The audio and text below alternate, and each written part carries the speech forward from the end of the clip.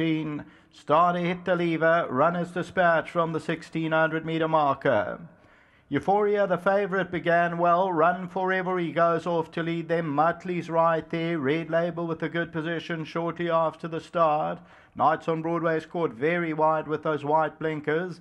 Hunger Games is just on the inside of that one. And then comes Silver Inspiration, Academy Princess, September Storm. Respect at Bay, that's about eight or nine lengths off them and overlaps the trailer, racing about nine or ten lengths off the leader. Thousand metres to go. Muttley Hunger Games on the outside. Knights on Broadway. Run forever. He's back fourth. The yellow cap of the favourite Euphoria is perfectly placed. Just three lengths off the lead. Red Label, Silver Inspiration, Injazart, Respect at Bay, that's got about five or six lengths to make up. Academy Princess around horses. Then comes Overlap and September Storm.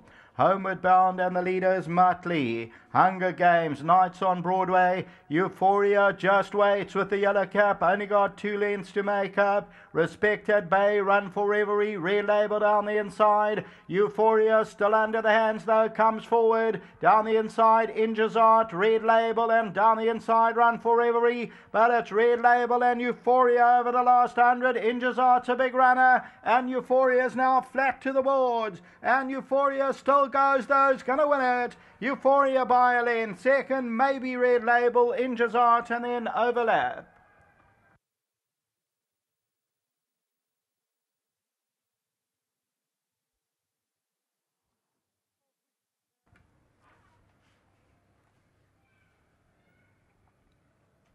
Number one, Euphoria.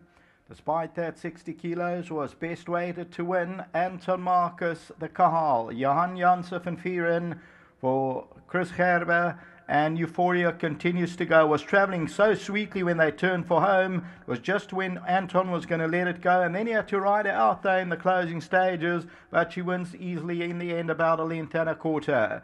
Red Label second. Injazart, a very nice run back in third position.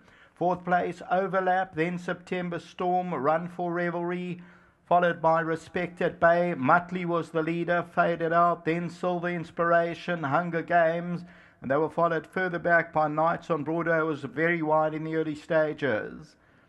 So as we look at the head-on, Anton was still sitting with a double handful on Euphoria. And then it comes home well. Steve Stillies and Peter de Marini. Still no stick required. Now Anton asks her to run. Red Label is trying to make the race of it. And down the inside is Injazart. And Euphoria continues to go. Ends up then drawing off again in the latter stages to win a length and a quarter. And she records a seventh win from 37 outings. This one bred by Stillies and Marini and owned by Gerber until the big day next week, the Vodacom Durban July. There's no racing in KwaZulu-Natal this week. Craig Peters signing off.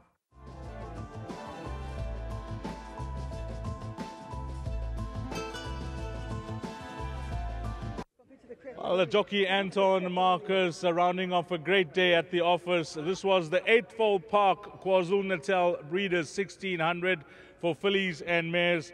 And joining us for the winning presentation, Mr. Peter, Mr. Peter Gibson. He's the stallion manager of Eightfold Park, and he's also going to be presenting a stallion service to the winning owners. But first up, let's have the winning jockey, Anton Marcus. And Anton, uh, firstly, having a look at the race, uh, you, you, look to be uh, traveling with a ton in hand. I was Deez, I must congratulate you. You told me this was the best bet on the card. So well done to you. She did. She had a trouble-free race. Uh, Johan was supremely confident. And she, I don't know if you saw her go down. She went down, you know, oh so well. So things just worked out well, these. Johan just telling me that uh, uh, both the front shoes uh, were off when she came into the number one box. Yeah, you know, Dee, sometimes when it's meant to be, it's meant to be. She, she won well and uh, certainly not winning out of place. It's turned out to be a fantastic day for you, Anton. Well done today. Thank you very much, Deez. Winning jockey, Anton Marcus. And then the winning trainer is Johan Janse van Vuuren. Johan, you know, your horses have taken a bit of time to acclimatize and find their form in KZN, but they really uh, come to hand uh, at our last few meetings. Yeah, Dees, thank you very much. I think you're being a bit harsh saying finding their form because we're still racing in Joburg at the end of Sure, April, sure, so sure, we got here a little bit later. And obviously, the horses they travel, they're going to need their first runs or so. But they've done really well since they've been here. The horses are looking fantastic, especially this filly. I've, this is the third winter I've trained her, and she's trained off badly both times in Joburg. So we thought we'd bring her to Durban early this season, and she's absolutely flourished since she's been here. She's really taken well to Durban, I mean, its form is showing it. She's run some really good races. 1900 probably a bit far for her last time out, but we needed a race in between because she was doing so well. And um, the form from that race stood up. Ashcott came and won the, won the Oaks. So um, I would have been disappointed if we got beaten today.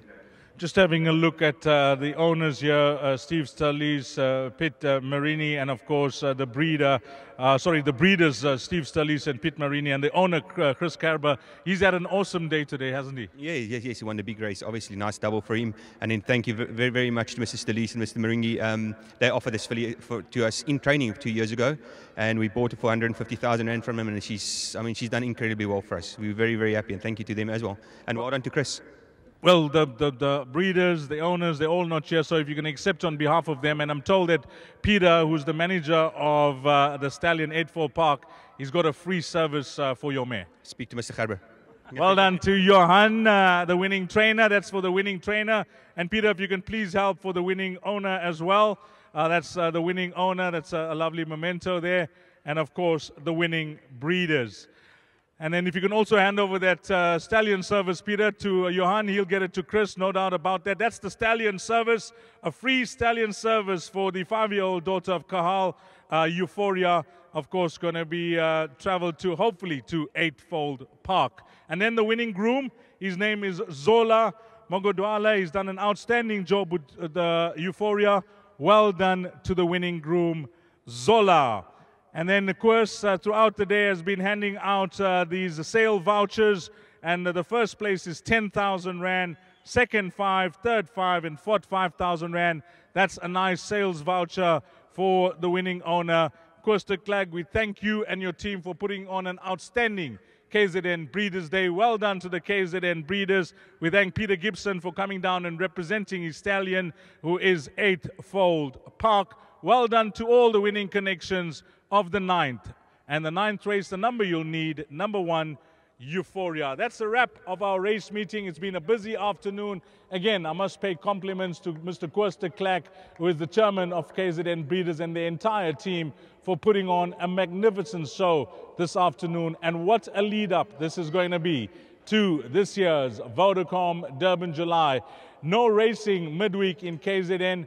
We'll next see you on the 4th of July for Africa's premier horse racing event. A big thank you to Sheldon and Craig Peters, Raymond Rogers and his team, and of course, we must not forget the hardest working cameraman on course, who is Zane. From myself, Dees Dianan, until Vodacom Durban July Day, take care. Salani Garshle.